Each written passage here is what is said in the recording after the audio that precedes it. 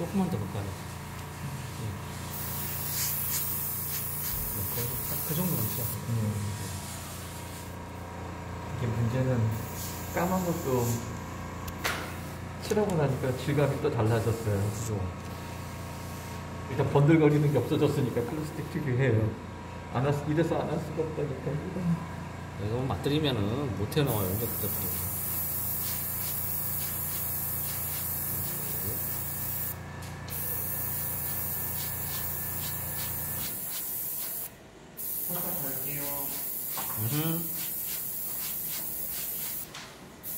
딱그 정도는 칠하세요. 음. 더안 칠하세요.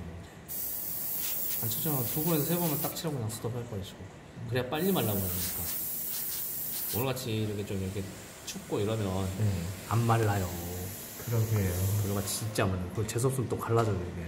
칠하는 애들이. 아이고야. 어제 몇 분 당했습니다. 날이 춥긴 추워요.